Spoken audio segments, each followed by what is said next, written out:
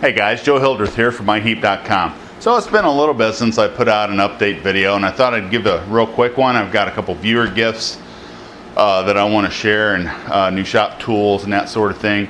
Uh, I'll also want to do an update on the Burke mill, but I think I'm just going to do that on a separate video. There's That's mostly what uh, I've been concentrating on when I snatch a few minutes uh, here and there in the shop.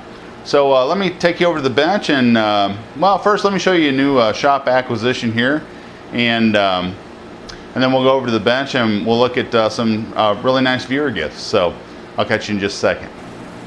Without giving too much away about um, what I've been doing with the, the mill in this video, um, I discovered that the spindle bearing uh, cups were bad. They were sort of pitted and uh, needed to get new bearings for the spindle.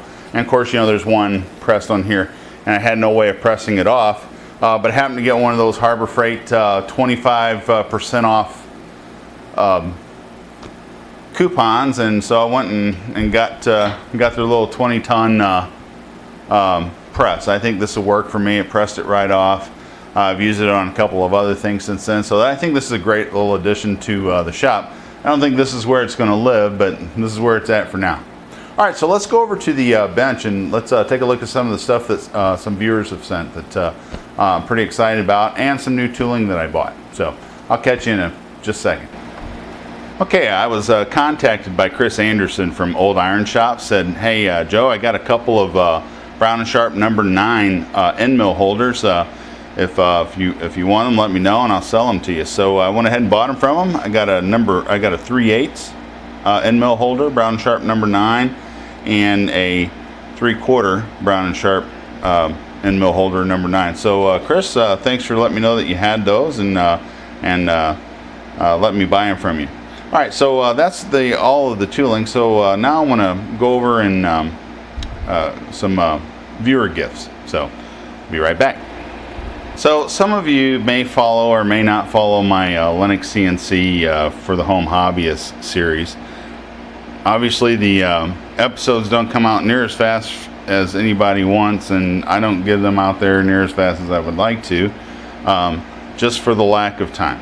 But anyway uh, um, Lance and Patrick uh, from Active Atom uh, saw one of my uh, videos and they said hey we got something we'd like to send you. So it's in this box so let me show you.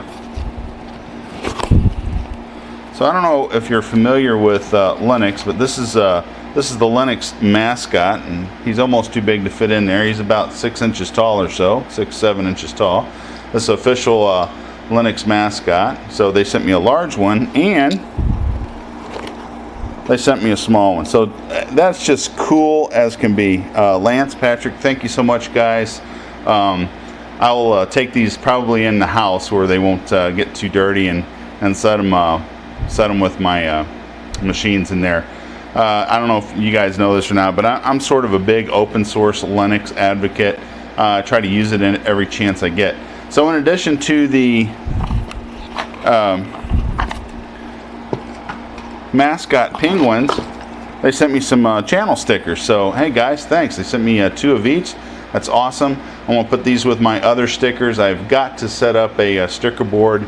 I've kind of got an idea for one, but like everything else, I just haven't had time. So guys, thanks for the stickers. Thanks for watching the channel and supporting me. I know that I don't uh, um, get stuff out as, as, as active as a lot of uh, other folks, and um, but you know I have a have a full-time job and a bunch of other stuff going on. This is just my hobby, so sometimes I get more time than others. But anyway, thanks for the stickers, guys. Uh, I, I, appreciate it. So I'm to put those with the other ones. So, all right. So. Um, let me get the other uh, stuff out here and show you what was sent and I'll bring you right back in.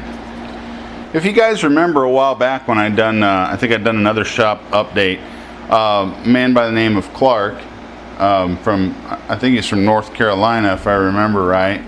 Um, uh, as a matter of fact, yeah, he is. He's from North Carolina, uh, Mr. Clark Wilson. He contacted me and said, hey, he says, um, um I'll, I'll, make a uh, uh, a guard for you. And if you recall, he, he made made a, a, a, the guard that goes on the left hand side of the machine for me. Well, Clark recently uh, contacted me and says, "Hey, he says uh, I've got uh, some woodruff cutters and some slitting saws and some small drills that I'm going to send you. He says, uh, uh, my guy who who scraps metal, he had them and I got it all for scrap, so I'm going to send it to you.